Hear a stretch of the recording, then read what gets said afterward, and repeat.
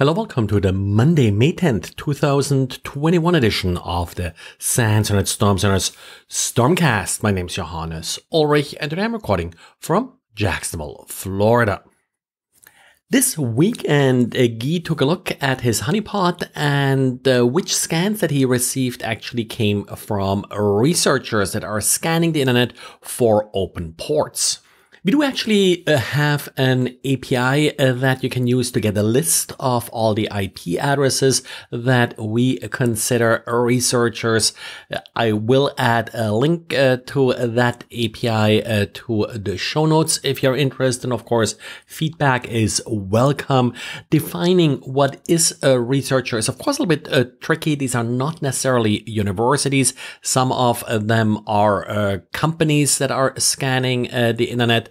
Uh, some of the organizations are a little bit harder to define, but uh, they call themselves researchers, which uh, is really all it takes uh, to sort of be classified as a researcher in our feed.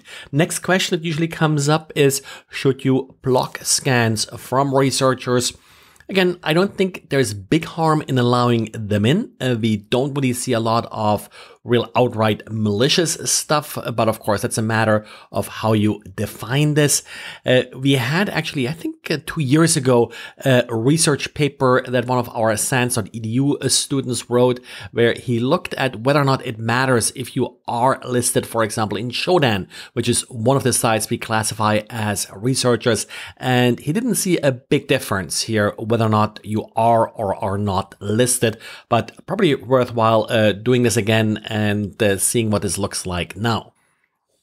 Now, talking about uh, researchers, a group of researchers from SIDN Labs, Internet New Zealand, USC, and uh, ISI uh, have published an interesting uh, paper outlining uh, denial of service vulnerability in uh, DNS servers. Now, there are really two parts to it. there's a first part that's a misconfiguration of zones. So that affects the authoritative name servers but the real vulnerability that's then being used to take advantage of the misconfiguration is actually in the recursive name servers. So in essence, you'll have to patch some recursive name servers, but you also should check if any of your authoritative name servers suffer from these misconfigurations. And the misconfiguration here essentially where you have uh, two zones that uh, sort of provide DNS services for each other, which is um, not that uncommon.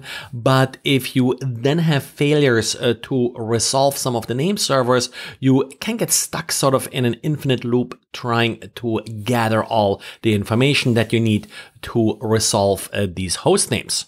Two big names that apparently did misbehave here when trying to resolve domain names was uh, Google DNS as well as Cisco's Open DNS. Luckily, uh, many of uh, the very popular open source uh, DNS servers like Bind, Unbound, uh, Knot DNS, and then also AWS's EC2 uh, does not appear to uh, be vulnerable as a cursor.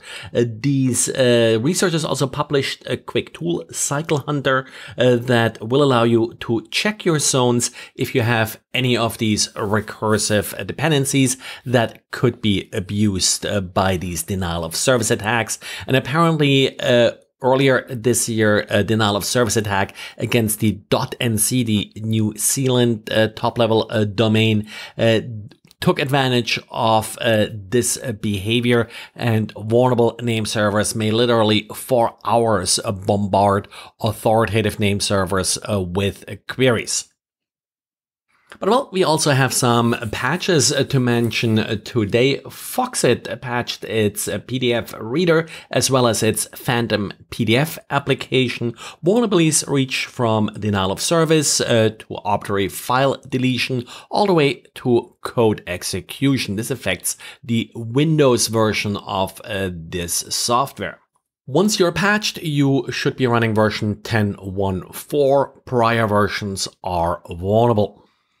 And last week, I mentioned uh, the controversy that was started by researchers at the University of Minnesota uh, around uh, their work uh, that was referred to as hypocrite patches. Now, lots and forth and back about this.